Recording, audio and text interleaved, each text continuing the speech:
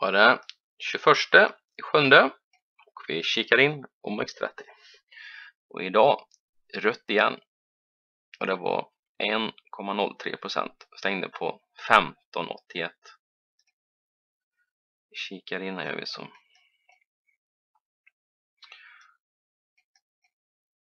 Ja, eh, vi gör så här. Vi tar 10 minuter här. Då har vi täppt till gapet som jag har pratat om, det stora som var ner till.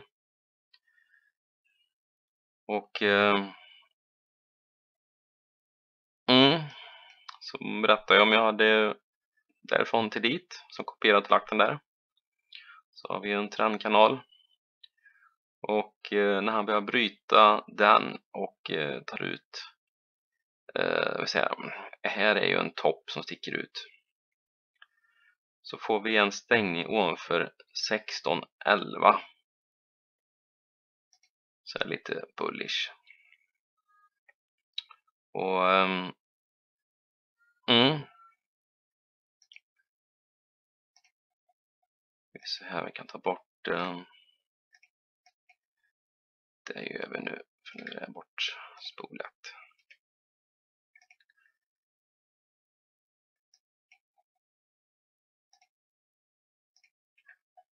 Och nu så sjunker det inför datum 21 22 och det är exempel 22 infinner sig nu på helgen. Sen eh, som jag nämner ibland där en röd dag på fredag blir ja, kan bli grön på måndagen.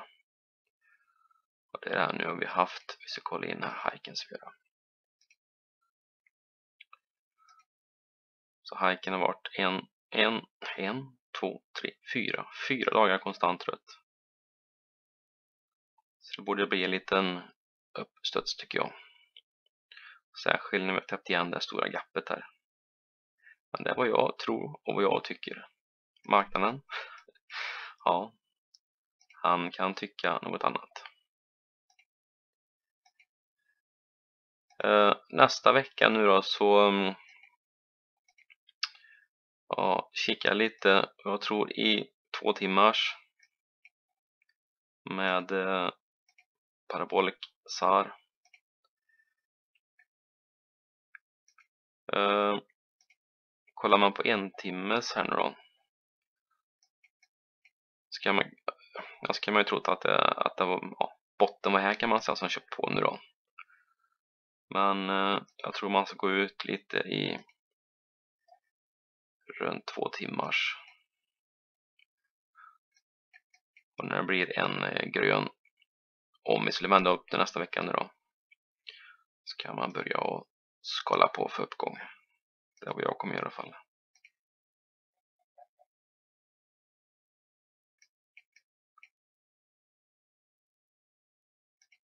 Och um,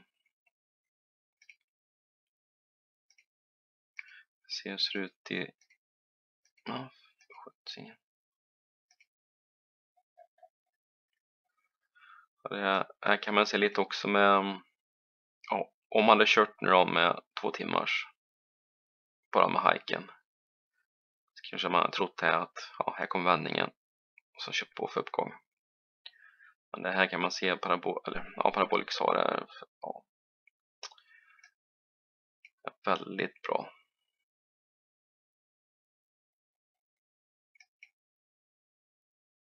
Mm. Så vi ser, hur stort bort det där och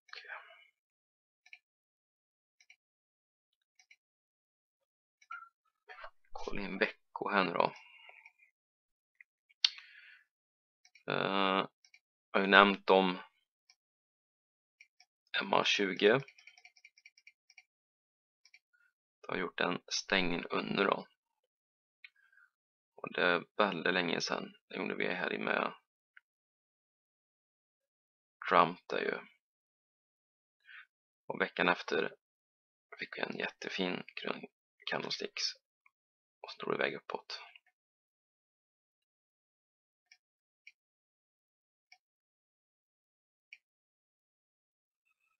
Vi kan kolla in um,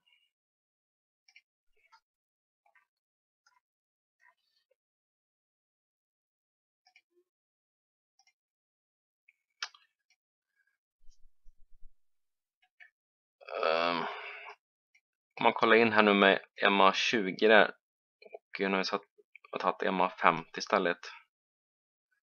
Det har också varit som stöd. Och det kommer på 15.51 just nu. Men det, jag tror inte att vi ska ner så långt.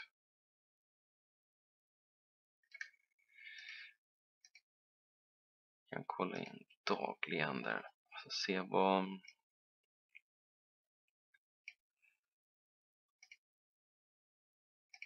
där dit. Mm. Fibonacci tracement från den botten till dit och 50% på 1579 och vi stängde på 1581 idag. Så det var rätt okej. Okay. Mm. Ja, det är bara att hålla tungan mitt i mun när man tradar på sådana dagar. Eh, jag har ju så att jag har ju två konton på IG. För det är när eh, exempel jag köpt för uppgången det här då. Då kan inte jag vända på positionen och köpa kort. Kan jag inte göra. För då blir det att jag, ja, trycker jag ligga för uppgång och trycker på för nedgång. Då går jag ur de positionen som jag har. Så jag har två konton. Så exempel nu då så ehm, det det kontot som jag kör med här kan man säga som jag är lång i då då köper jag bara uppåt, alltså för uppgång och mitt andra konto så har jag köpt för nedgång det är också ett tips som man kan göra mm. Ja, eh, jag nöjer mig så. Så får vi se.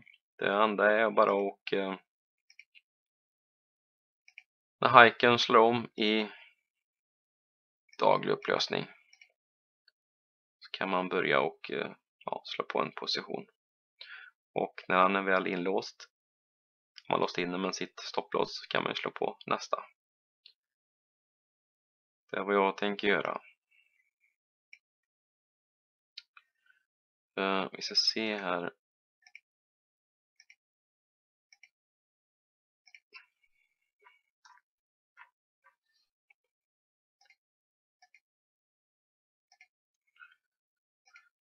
Emma kommer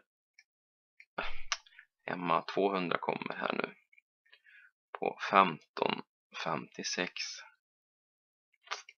mm.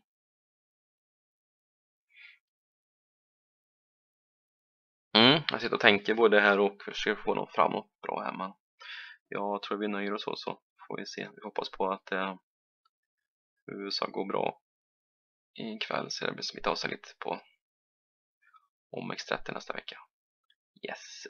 Ja, men jättebra. Jag önskar er en trevlig helg och eh, mm, ja men gör vi så. Yes.